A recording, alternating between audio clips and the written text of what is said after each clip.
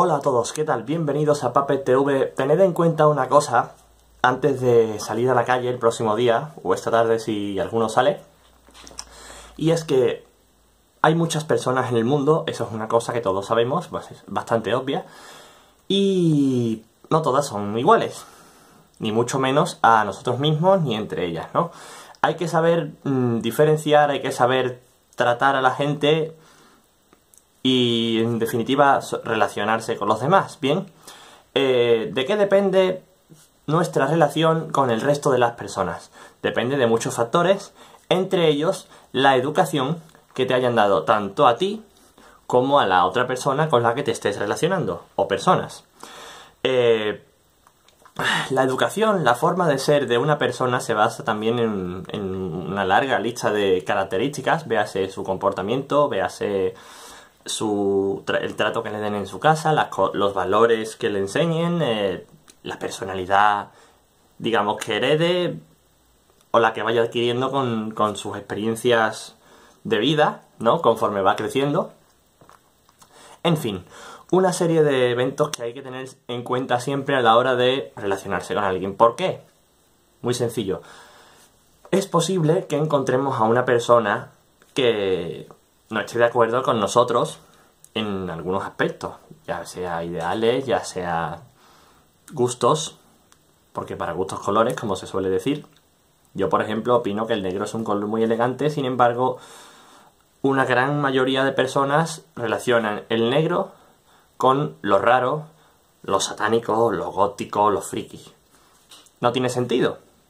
Es cierto que es un, es un estereotipo muy extendido, es un tópico muy generalizado, pero que eso no quita, una cosa no quita la otra, es decir, tú perfectamente puedes ser friki o raro y no ir de negro.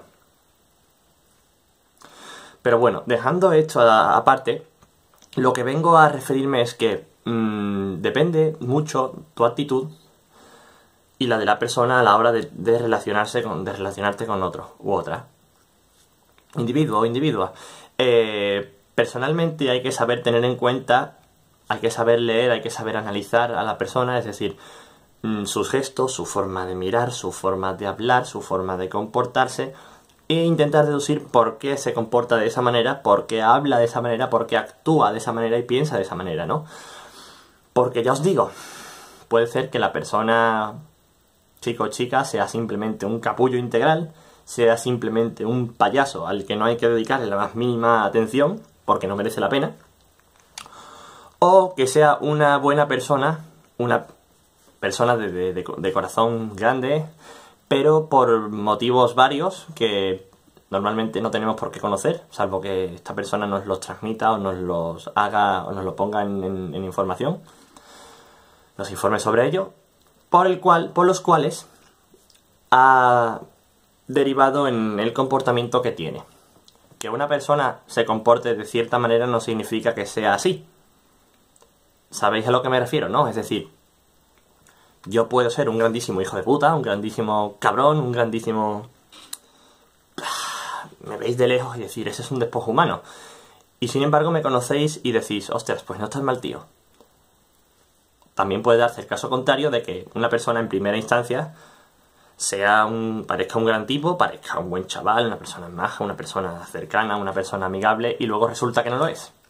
De hecho, hace poco mm, grabé un vídeo hablando de sonderes y anderes, refiriéndome a chicas, que justamente era eso.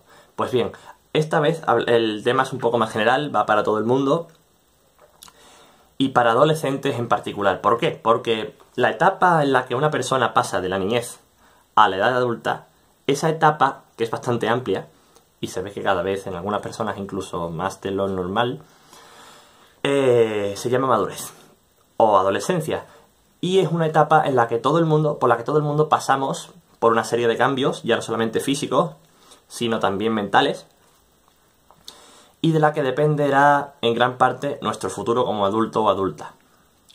¿A qué me refiero? Simple. Una persona puede, eh, en esa eh, intervalo de edad, ese intervalo de la vida, en esa época, en la que suele, digamos, afianzarse como luego va a ser, o se va a comportar ya hasta que le llegue el momento de morirse. Y pues eh, digamos que todo lo que pase a su alrededor en esa época va a influenciarle mucho para todo. Eh, pongamos por caso que eres el típico niño calladito, reservado, tímido, con el que todo el mundo se mete desde pequeñito hasta que se gradúa en bachillerato o en una carrera. Pues bien, probablemente esa persona mm, actúe en consecuencia cuando llega a la edad adulta.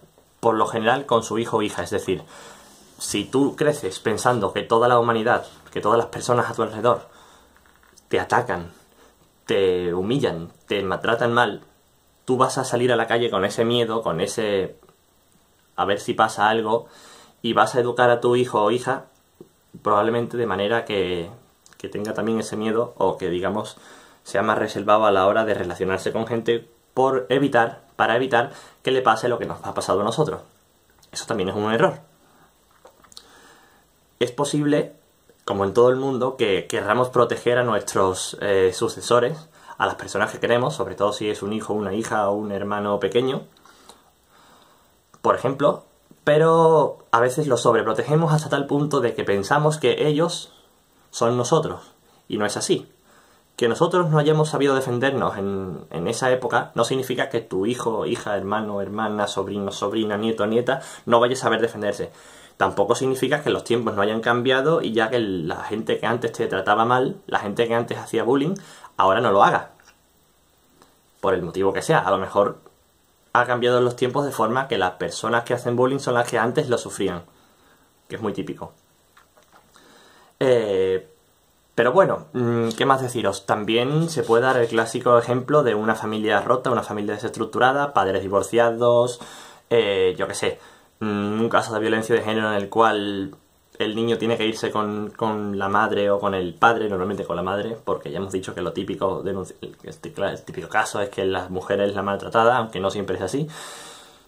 Y bueno, por X motivos, el niño o la niña que sufre de eso mm, ya crece con la paranoia de que las parejas no son para siempre, de que todo termina.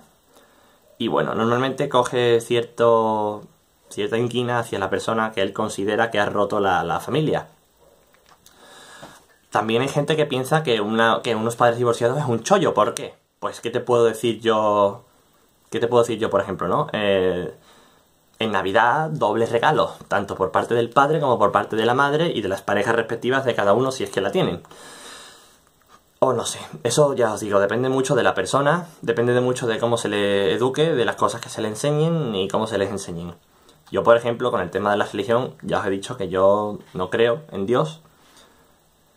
Pero si alguna vez tengo un hijo o una hija, que personalmente espero que sí, lo que creo que lo correcto sería no, no meterlo por una religión concreta, sino darle a él la posibilidad, o a ella, la posibilidad de elegir sus propias creencias. A mí no me dieron esa posibilidad, pero yo considero que él o ella en un futuro merece elegir y no que le vayamos mm, marcando pautas para crearlo de una forma u de otra. Crearlo. Suena como si fuese una máquina. Las personas no son máquinas. Si fuésemos máquinas seríamos perfectos y no lo somos.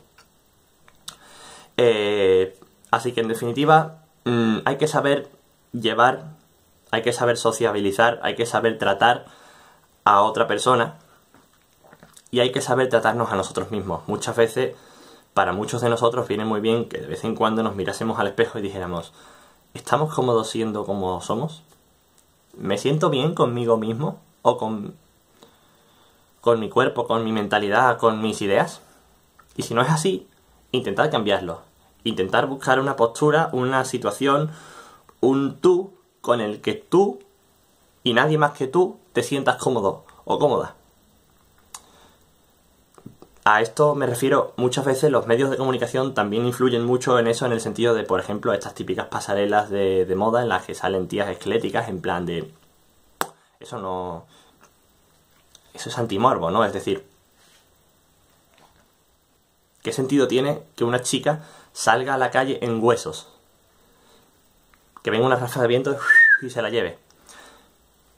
Digo chica porque normalmente las modelos son, son, son chicas, las modelos esqueléticas son chicas, pero en el caso de los tíos igual. Es decir, mm, ¿qué ganas tú saliendo a la calle así? En plan, soy un armario empotrado y no puedo salir por la puerta de mi casa porque los músculos de esteroides no me dejan salir por la puerta. Tampoco tiene sentido. Uno debe estar cómodo y feliz con, con cómo es. Y si no lo está, buscar una forma en la que sí se sienta cómodo, pero que esa forma no venga ya influenciada por medios de comunicación, vea el televisor, vea la radio, vea la familia o los amigos o amigas. En definitiva, mm, sé tú mismo, piensa por ti, actúa por ti, decide por ti y vive la vida como tú quieras.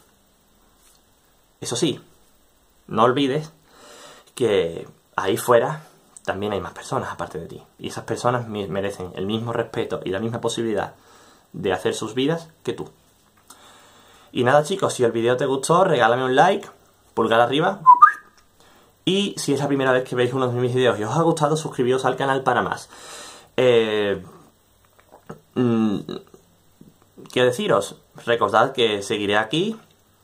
Recordad que esto va para todos ustedes y que espero que os guste. Nos vemos en el próximo vídeo. Adiós.